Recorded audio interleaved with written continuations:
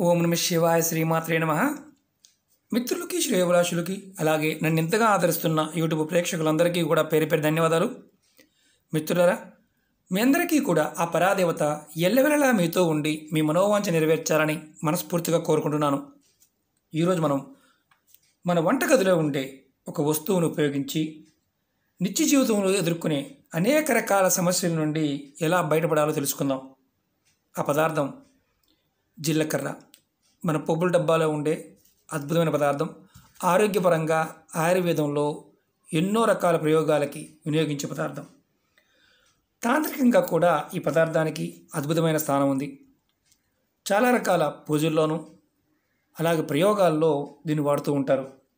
మనం రాత్రి పడుకునే ముందు ఈ ప ఈ పదార్థం అంటే జీలకర్రతో ఈ ప్రదేశంలో పెట్టి పడుకోవడం వల్ల అద్భుతం చూస్తారు. ఆశ్చర్యంగా అనిపించవచ్చు ఎలా చేయాలి? ఏ విధంగా చేయాలి? తెలియచేస్తాను. మీ ఇంట్లో ఉన్నట్లుండి కుటుంబ సభ్యుల మధ్య గొడవలు జరుగుతున్నాయి అనుకోండి. అధికంగా జరుగుతున్నాయి. అంతా బాగానే ఉంది. అనుకునే సమయంలో ఏదైనా అనవసరపు ఖర్చు రావటం అలాగే సంపాదన కంటే ఖర్చులు అధికంగా అవడం చేతిలో ఒక్క రూపాయి కూడా మిగలకపోవడం అధికంగా అప్పులు చేయవలసి రావడం ఇంట్లో ఉన్న ఆడవారు మగవారు చెడు మార్గంలో వెళ్ళడం అంటే చెడు వ్యక్తులతో సాహసం చేయడం అంటే ఒక రకంగా చెప్పాలంటే పిల్లలు కానీ భర్త కానీ భార్య కానీ చెడు వ్యక్తులతో సావాసం చేయడం. అలాగే శత్రువులు అధికమవ్వడం. ప్రతి చిన్న విషయానికి మిమ్మల్ని ఇబ్బంది పెట్టాలని చూడటం.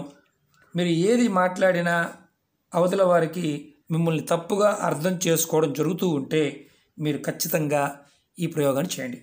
అలాగే ఇటువంటి సమస్యలతో బాధపడుతున్న వారు ఎవరైనా ఈ ఉపాయాన్ని చేయవచ్చు. ఎలా చేయాలో చెప్తాను. మీకు ఈ వీడియో నచ్చినట్లయితే లైక్ చేయండి. నా ఛానల్ని సబ్స్క్రైబ్ చేసుకోండి. పక్కనే ఉన్న గంట సింబల్ని యాక్టివేట్ చేసుకోండి. పది మంది మిత్రులకి షేర్ చేయండి. ఆడవారైనా మగవారైనా ఈ ఉపాయం చేయవచ్చు. ఆడవారు నెలసరి సమయంలో ఈ ఉపాయాన్ని చేయవచ్చు. ఇబ్బంది ఏమీ లేదు. అంటే నెలసరి సమయంలో కూడా ఈ ఉపాయాన్ని చేయవచ్చు. ఎటువంటి నియమ నిబంధనలు లేవు.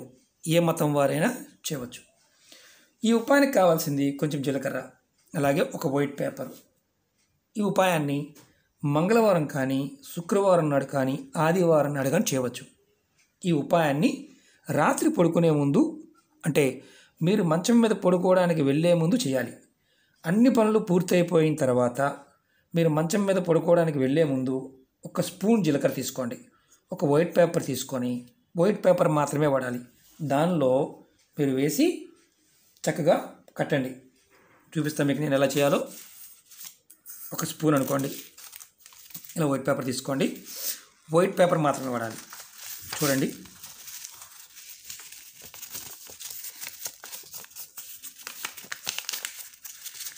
దీన్ని ఇలా లోపలికి మడత పెట్టండి.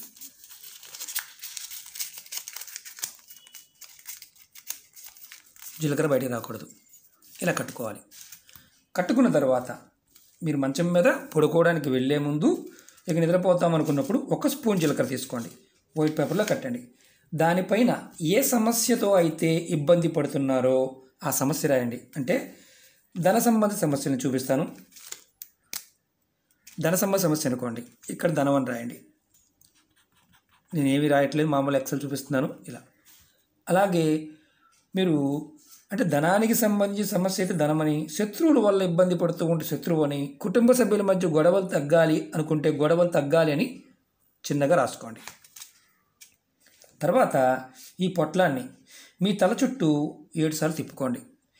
ఎవరైతే సమస్యతో బాధపడుతున్నారో ఎవరైతే ఇబ్బందులు పడుతున్నారో వారు వారి తల చుట్టూతా ఏడు సార్లు తిప్పు అంటే క్లాక్ వైజ్ తిప్పుకోండి. యాంటీ క్లాక్ వైజ్ కాదు క్లాక్ వైజ్.